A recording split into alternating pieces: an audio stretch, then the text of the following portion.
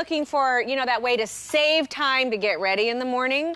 Well, my next guest is here to show us the makeup secrets and shortcuts to help us have a great face in only five minutes. Wow. Please welcome beauty expert and author of Passport to Beauty, Shalini Vadhera Potts. Hello, Shalini. How are you? I'm so good. And again, it's all about making things really easy. So this is the kabuki brush, a slanted kabuki brush by the Body Shop.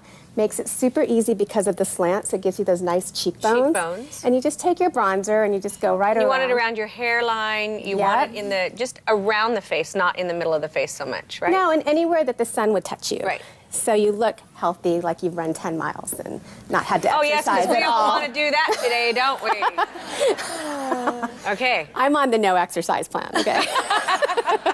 um, this is by Susan Posnick. Again, I always look for products that do double duty. This has an eyeshadow on one side and an eyeliner on the other. Okay. So literally, you can just take the pencil and take the shadow side, go up by the brow really quick, take the liner, go right across the top, and they're really smooth. And Oh, it's is- like a smudge. Mm -hmm. Yeah. and again, smoky eyes and sexy eyes are smudged eyes, so you don't have to worry about really precise application. Right. So you've got your definition. Very pretty. And then we go. Do you ever put it under? I always do under, I it's pretty. but with the five minute face, we don't have time. Oh my goodness. we have 30 seconds. we have 30 seconds. Okay, then we want to finish with mascara. I